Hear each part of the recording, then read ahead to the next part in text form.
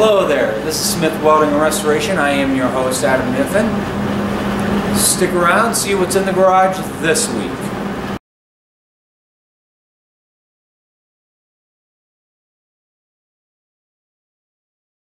Alright, so what we're dealing with here is there's extrusion marks right here that we are going to let in today. So I've already wire wheeled the area affected.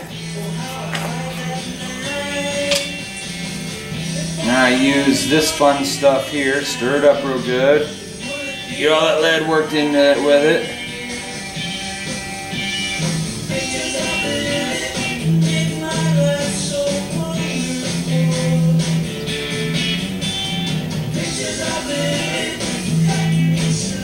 Because that lead, obviously being so heavy, will settle out of the suspension, this tinning compound. Pretty damn good stuff.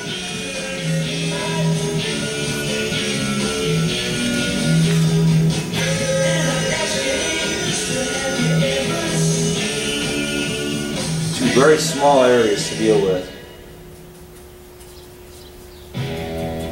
We got everything else on this fender to a point that uh, blocking it twice with high build primer or blocking it once with slick sand will just take care of the issues.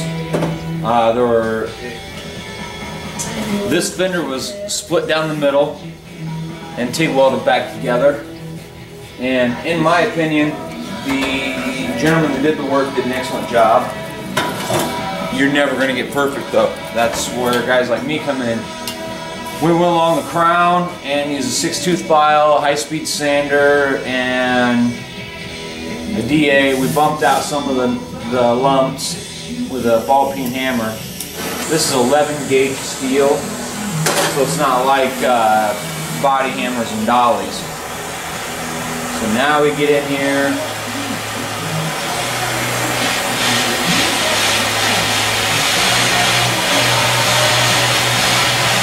about to turn.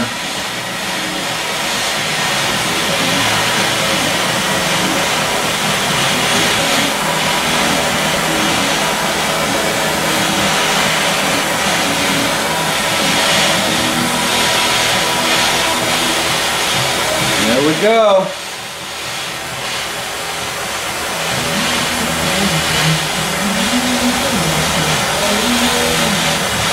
I got my gloves on.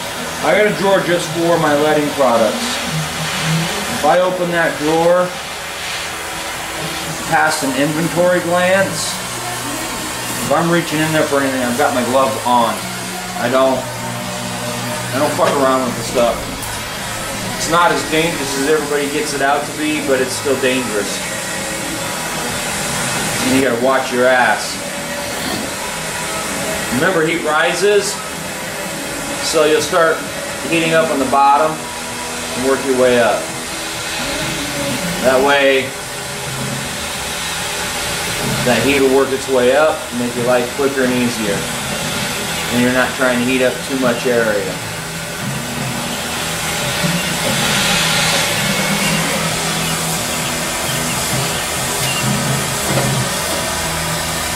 Now we got that taken care of. Always try to heat up on the same end because if you set this down and it's heated up, it's been melted off both ends, you set this down and you don't know which end you just heated up, it's gonna hurt. I mean, you might like it, I don't know.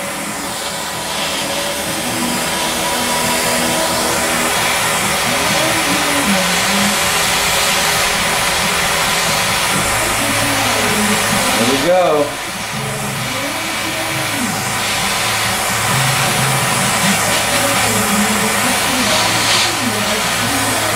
Remember, put more than enough lead in there. It'll make your life easier in the long run.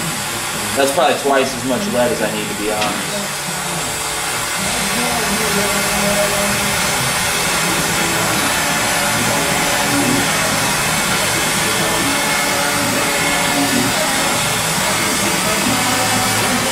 And that's that.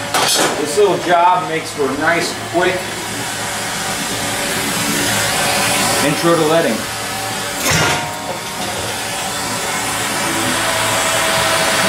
I got tallow on my paddle already. And I got tallow sitting over here next to me to heat up and put on there.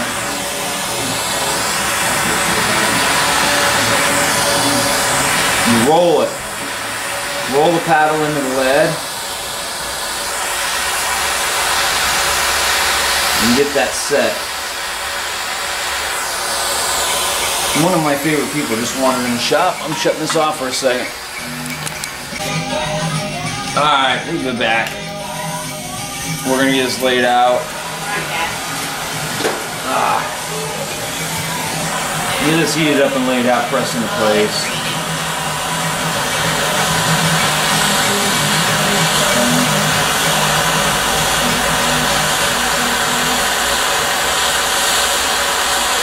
One bad thing about letting the lead cool, kind of a bitch when you come back to it.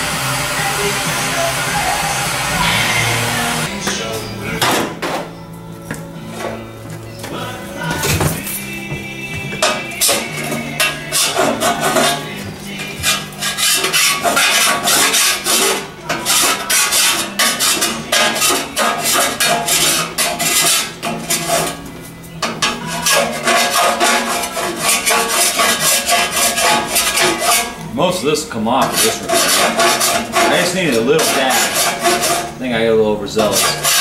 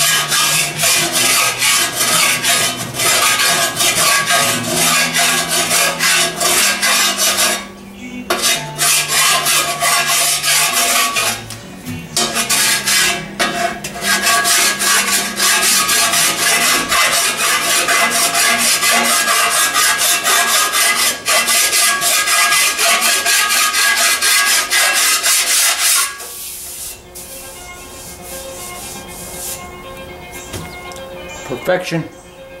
Thanks for watching.